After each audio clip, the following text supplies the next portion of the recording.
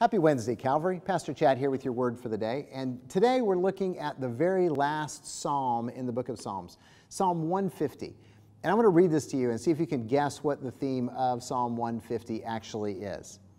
Praise the Lord. Praise God in his sanctuary. Praise him in his mighty heavens. Praise him for his mighty deeds. Praise him according to his excellent greatness. Praise him with the trumpet sound. Praise him with lute and harp. Praise him with tr- tambourine and dance. Praise him with strings and pipe. Praise him with sounding cymbals. Praise him with the loud clashing cymbals. Let everything that has breath praise the Lord. Praise the Lord. Did, did you catch the theme? I'm pretty sure I don't have to read it again to tell you that the theme is praise the Lord. Praise God. The, the psalmist ends this collection of prayers and meditations and songs uh, by saying, hey guys, don't forget to praise God. Praise God no matter where you are. Praise God with, with everything you've got. He lists all their modern instru- instruments at the time. We don't use most of those nowadays, except for uh, what I noticed was you know tambourines and strings and cymbals. And notice he mentioned cymbals twice. So if you're averse to having drums in the sanctuary, um, you at least need cymbals to be biblical. Uh, he even mentioned praising him with the dance. I praise God by not dancing because when I dance, it, it really bothers people. So, um, but that's okay. The, the message is this praise God. Praise God. So, are you doing that? When, when you get up in the morning, do you praise God? Do you praise God for the breath that He gave you, for another day of life? Do you praise God for the people in your life, the relationships that you have? Or are you going to God with complaints? Are you going to God with complaints for the people that are in your life because they're not living up to your standards? They're not blessing you the way that you want to be blessed. See, here's the thing God's given them to you, and He wants you to bless them, and He wants you to praise Him for putting them in your life. Okay? Are you doing that? Are you praising God? Are you praising God for the beauty that's around you? And I know some of you are going, but it's 120 degrees and it's hot. Yes, but it's still beautiful. And He's given you air conditioning and ice cream. I mean, those are things that kind of counter the heat a little bit. You got to praise God for that. Are, are you praising God for His goodness in your life? Because let's face it, without Jesus, we're all going to hell.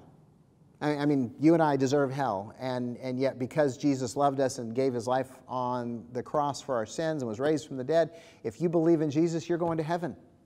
I mean, no matter how bad anything else is in your life, the promise of heaven kind of trumps all of that. And in fact, the Apostle Paul said it in Romans 8 18. He says, I do not consider this present suffering worth comparing to the glory that will be revealed in us in Christ Jesus. It just isn't worth comparing. So we got to praise God for that.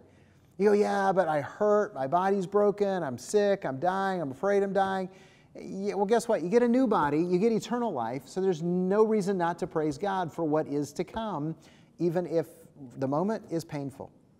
Praise God. That's the word, no matter where you are, not just in church. I mean, that's why we sing, by the way, in church. Even if you don't sing, we sing because we want to praise God. We want to help you be obedient to God.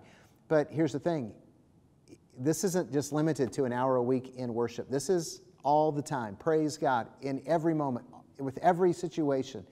In fact, the Apostle Paul echoed it when he said, In all things give thanks, for this is God's will for you in Christ Jesus.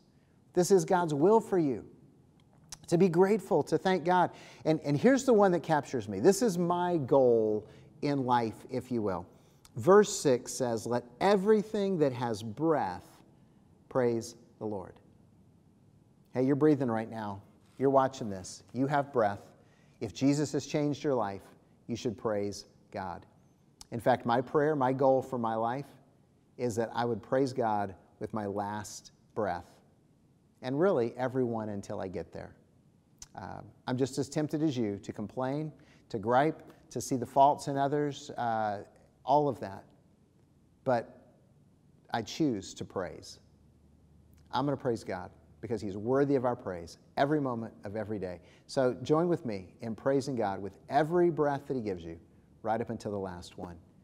And then we're going to praise Him forever in a place called heaven. I hope that you are ready to step out into the day and praise God. And if you've already been complaining, just repent and start praising Him now. Have a great day, Calvary. God bless.